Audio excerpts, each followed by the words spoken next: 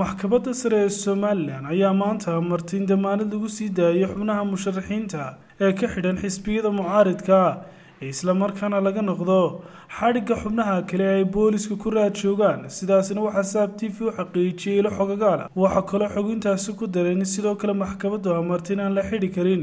Xubin ka mida musharaxiinta sida rasmiga uga soo baxay liiska ay soo saareen guddiga doorashooyinka somalilan sida ku cad xeerka guud ee doorashooyinka somalilan iyadoo kulano dhex maray guddoomiyaha maxkamadda sare hogaanka xisbiyada mucaaridka guddiga doorashooyinka iyo madaxweynaha somalilan iskula qaateen musharaxiinta eedeysan iyo ciddii kale la soo eedeeyeyba inaan la xidhin balse iyagoo bannaanka jooga oo xor ah ay istifaacaan ilaa intaas si rasmi ah loo caddaynaya ama loogu waayayo eedeymaha loo haysto.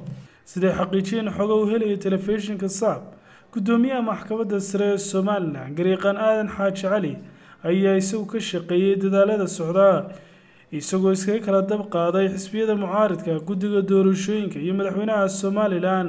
Waxaana shirarkaasi intooda badan u dhaceen si gaargaar ah oo la qaatay in laga fogaado wax kastoo dhaawac u geysan karaa habsimu socodka hanaanka doorashooyinka isku sidkan ee ku mudaysan inay qabsoomaan koob iyo soddonka mey laba kun iyo koob iyo labaatan.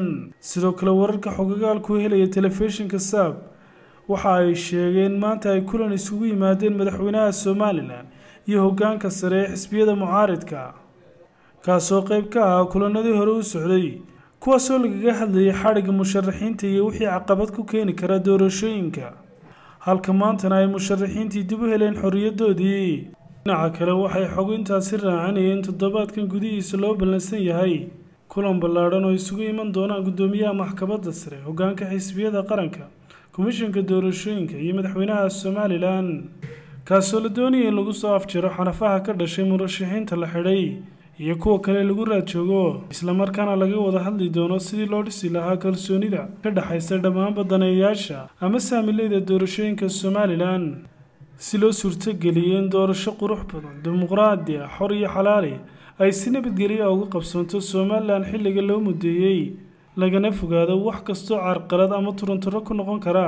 Qabsoomidda doorashooyinka wakiilada iyo deegaanka ee somalilan cismaan axmed ismaan saab t v hargeysa.